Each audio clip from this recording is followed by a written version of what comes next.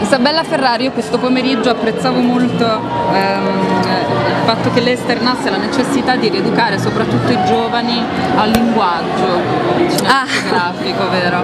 Beh no, mm, perché... Un momento così particolare. È vero che siamo in un momento di grande crisi, quindi quando si pensa al taglio alla cultura forse eh, si pensa a qualcosa che magari comunque forse non è proprio necessario, però io ho figli e sono molto vicino ai giovani e penso che i nostri figli ormai inseguono i reality, i seriali e, e non sanno più cos'è, non lo sanno, non hanno mai conosciuto un linguaggio cinematografico. Io sono cresciuta con uno spazio in televisione, nella televisione pubblica del film, no? il film al lunedì, che adesso che non c'è più insomma e quindi non c'è domanda, non c'è offerta, non, si, non, non è nel palinsesto e non si produce nemmeno tu sei protagonista di un film tutto al femminile che tra l'altro era tra i film in concorso lo scorso anno per questa ah. Kermesse, che era due partite. Ah, ecco.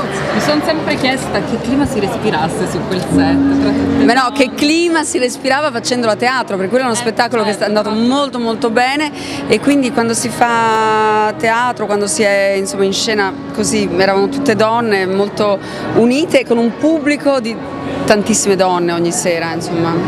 Poi invece nel film cantavamo queste canzoni qua che sentiamo ora.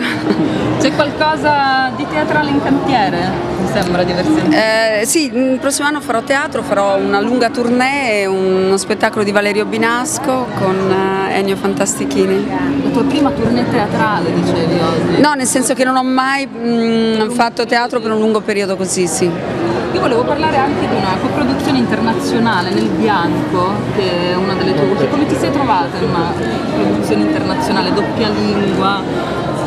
Beh, quello è stato un lavoro molto diciamo anche faticoso, girato in Scozia, molti notturni, poi a Berlino, era tratto da un, da un romanzo di Ken Follett, da un giallo di Ken Follett, eh, sì, mm, che, sì, che, insomma è soprattutto è girato poi in inglese, una, una, una coproduzione. Eh, no, invece mh, mm, la cosa che invece andrà in onda su Rai 1 è una storia di una donna che si chiama Storia di Laura, andrà a settembre ed è una donna apparentemente normale, una madre di famiglia, eh, benestante. C'è un però, C'è un però, lo diciamo? cocainomane. Ho detto qualcosa... Grazie Isabella, non abbiamo sentito nulla. Grazie Isabella